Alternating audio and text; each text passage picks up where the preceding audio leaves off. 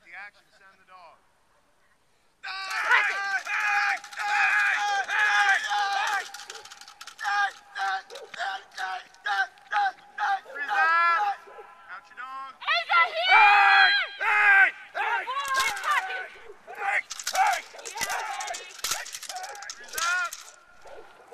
Out your dog. Oh, sit